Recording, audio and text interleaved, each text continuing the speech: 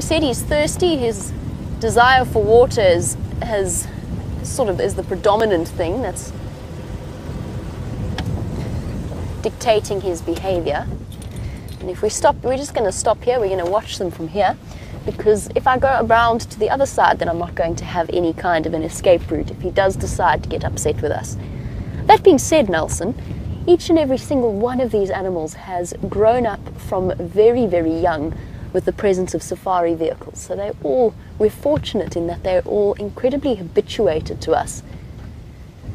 And whilst we certainly interact with them on some level, there's no way that we can claim that we don't have an impact on the animal, that they don't acknowledge us or see us. There's nothing out here that wants to hurt us or attack us.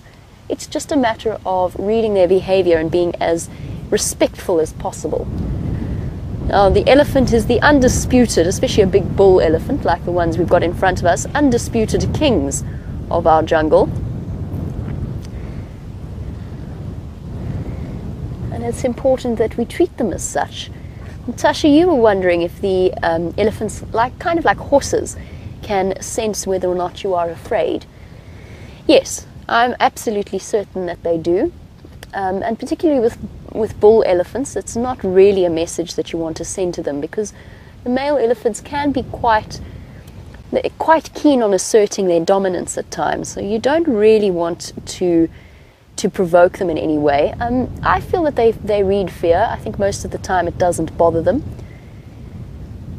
But it is an important aspect of your of the way in which you handle sightings. And sometimes we get bull elephants that are very curious and they'd want to come right up to the car and have an have a good sniff, maybe even at times touch the vehicle. And I, it's a personal preference. I never let them touch our vehicles.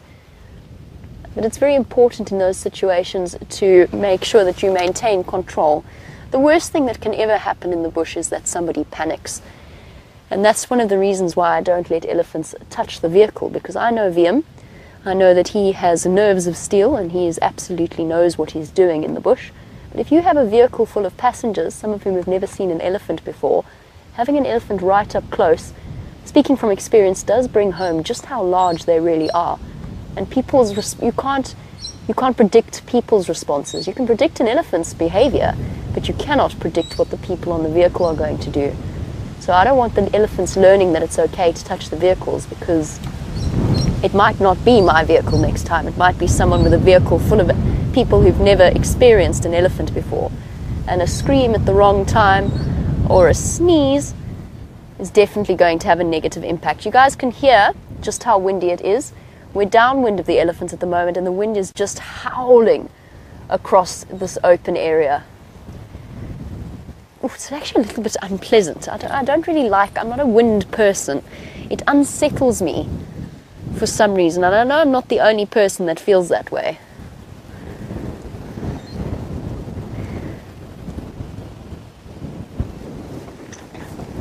Now that they've moved off a little bit and they seem to be distracted by each other, we can sneak a little bit closer. Now we've got a group of males here at the moment, and a good morning to Tammy in New Zealand while we attempt to hide and shelter ourselves from this incredible howling wind. I'm trying to keep my cap on my head. You want to know if it's more common to find elephants in big groups or little groups. Depends on where you are, depends on the time of year. So yesterday we saw a herd or several herds all joined together. It was probably about 50, if not more, elephants in that area. And that's relatively common where they're, they're sort of coming together around a, a water source. There's not all that much water at the moment in the Sabi Sands or in the greater Kruger Park area. So the herds get a little bit larger. But then in Botswana, or in Zambia, you might see herds of 100, 200 elephants moving through an area. It's very, it's very area dependent, it's very seasonally dependent, and rainfall dependent. Or having a lovely last, one last trunk full of water before they move off. And the breeding herds are, consist of females and their offspring and the occasional attendant male. But when you see bachelor herds like this, they will invariably be much smaller than your average breeding herd. So bull elephants come together for a little bit of company, maybe a bit of practice sparring, and then they move off on their own. So a, bachelor herd of elephants is a very fluid thing. They come together and then move apart. And these guys are moving off. I've just got a full whiff